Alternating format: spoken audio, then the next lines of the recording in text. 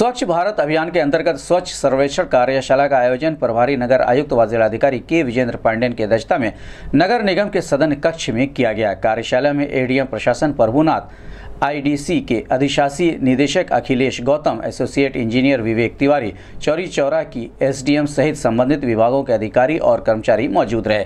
कार्यशाला में सामुदायिक व सार्वजनिक शौचालय के निर्माण साफ़ सफ़ाई नाली की साफ़ सफ़ाई सहित स्वच्छ सर्वेक्षण से जुड़ी अन्य बिंदुओं पर चर्चा की गई, जिससे जनपद को स्वच्छ सर्वेक्षण में अच्छी रैंकिंग दिलाया जा सके।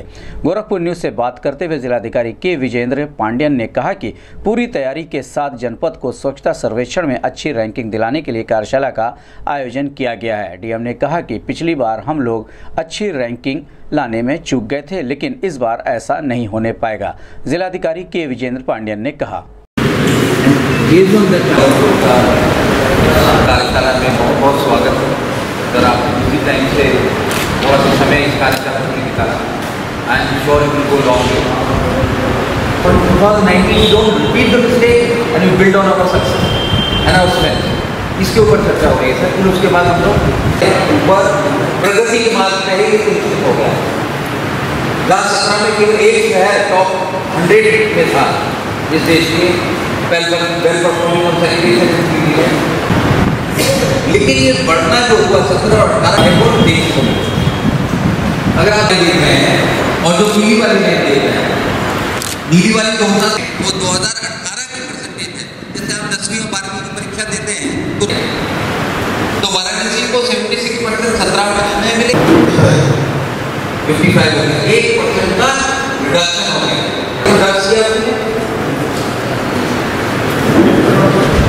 लेकिन अलीगढ़ का इम्पोर्टेंट है। अब ये एक परसेंट अलीगढ़ का रैंक 2017 के अंदर नंबर निकाल और 2018 के अंदर है अलीगढ़ कितना नंबर रैंक थर्टी पैंतालीस की गुंजाइश है कि प्राप्त कर सकते हैं? उसके भी है एक है। तो उन्नीस में कौन आएगा? थोड़ी बहुत आवाज़ आई लेकिन पहली बार से तो बेहतर ही है। अगला। कुछ देखने की आवश्यकता नहीं है। उसके उसके स्कोर को उसकी आत्मा को हम लोग चर्चा करेंगे। तो विश्व का सबसे बड़ा सैनिटेशन के ऊपर सर्वे है, इसमें ये तो आप जानते हैं ये विश्व का सबसे बड़ा सैनिटेशन का सर्वे है। इससे बड़ा कोई सर्वे विश्व के अंदर नहीं है उस व्यापक इसको पहली बार स्लाइड में दिखाया गया तो वो महत्वपूर्ण नहीं है। महत्वपूर्ण जो है, और उसकी केवल आप मेरी बात सुनिए इस सर्वेक्षण का सोच क्या है, आत्मा क्या है और इन दो कंडीशंस को इंश्योर करने के लिए आपको कुछ एक्शन लेने पड़ेंगे। अगर आपको सामान लेना है इक्विपमेंट लेना है तो जेम्स पे जाके अपने आप को रजिस्टर करना पड़ेगा। मुझे लगता है आप जेम्स पे रजिस्टर्ड ऑलरेडी होंगे। तो क्या जेम्स पे सफिशियंट नंबर ऑफ़ इक्विपमेंट के लिए ऑर्डर दे दिया है आपने टेंडर की क्या ज़रूरत है जेम्स में तो आप डायरेक्टली ऑर्डर कर सकते हैं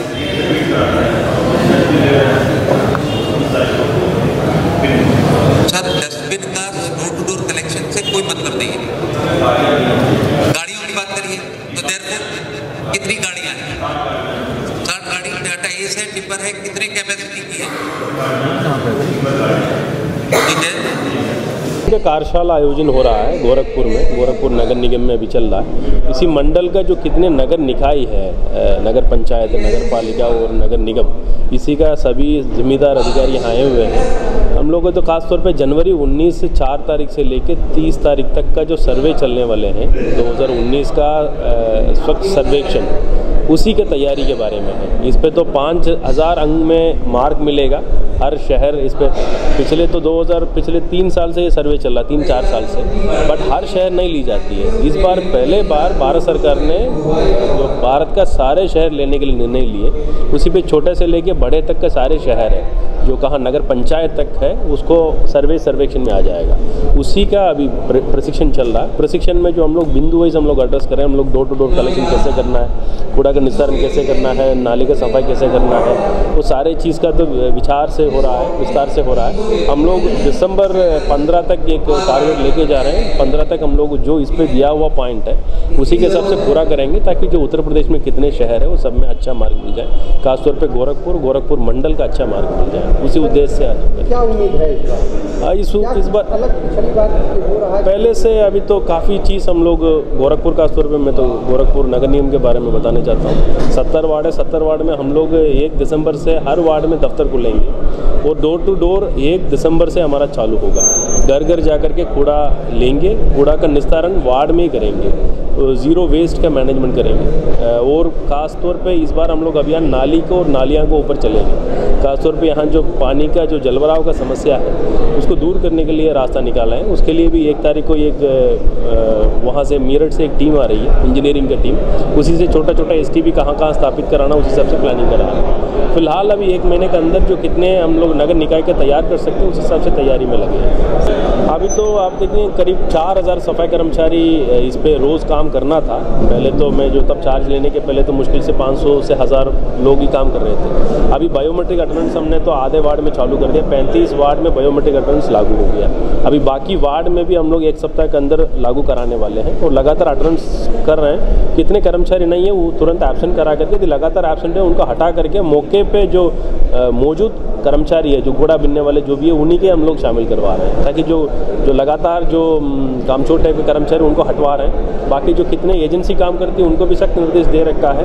इसी महीने तक यदि सुधरेंगे नहीं तो फिर उन लोगों को ब्लैक लिस्ट करके तो हम दूसरे एजेंसी चेंज करेंगे अभी पटरी पे आएगा आप देख सकते थे एक महीने के अंदर क्या सुधर संपत्ति को लेकर जिला प्रशासन हुआ है। जी।